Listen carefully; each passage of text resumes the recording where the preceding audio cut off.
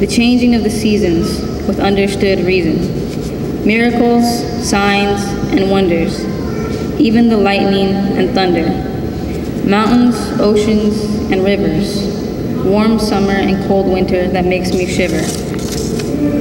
Those pyramids in Egypt that stand towering, but nothing compares to his love that is showering. So many wonders on this earth, but we neglect to see the greatest wonder of the universe, Allah. Loving you and me, protecting us, keeping us, guiding us, and always there for us.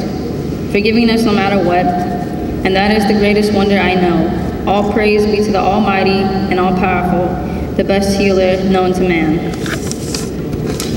That was my first piece.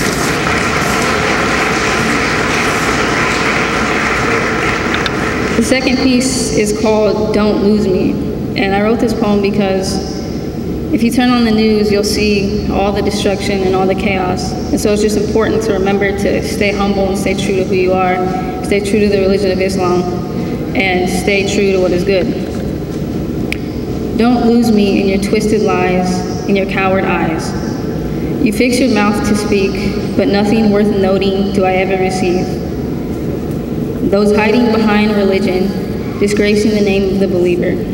As tragic as the world looks, we must have faith in that which is good. Don't lose yourself. No, don't lose yourself in the crookedness of society. Instead, look to Allah to make your path straight, to guide you down a path of righteousness. Do not give in to the absurdities that exist and do not take your eyes off of the coveted prize. Strap on your bearings, remember your faith. Remain faithful to Allah and give no mind to the shaitan. As I gaze out, I see the impurities, and all I really know how to do in these times of need is to pray. Immersed in this world of crazy, just please don't lose me.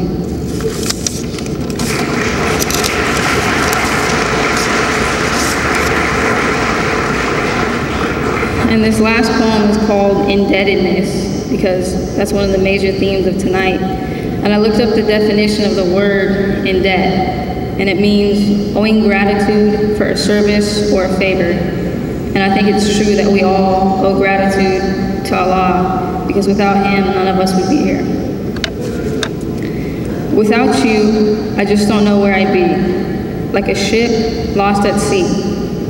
It was you who saw the best in me and it was you who set me free, giving me the gift of prayer so you could come in and repair. There was no hurt that you could not heal, readily replacing it with zeal. For my life, I am grateful, and no longer do I fear the hateful, because I know that you are by my side, acting as my guide. My ups far outweigh my downs, because you've erased all doubts sheltering me from the rain and healing my pain. I have no tears because you've kept me through the years. I started as a seed, but you transformed me into a tree that's freed. You told the enemy no, and you took away my woe. Sadness and confusion was no match for your love transfusion. And even when I don't deserve it, you come by my side and sit. You are my comforter, my healer, my protector, and your love is sweeter than nectar. You've been by my side always, opening so many doorways, healing my sickness with such swiftness. You've stood by your word, so my spirit won't be disturbed. There were days I wanted to quit, because I just wasn't getting it. But it feels good to make it this far. You are my North Star. You're always near, so I have no need to fear. I could have been one of the ones who lost my way, but instead you molded me how you wanted me to be, like clay. And even if I never own a mansion way up high, you won't hear me cry. Because Allah, you've been so good to me, better than I could ever tell you, and I don't even deserve half of it. To you, I am gladly forever indebted.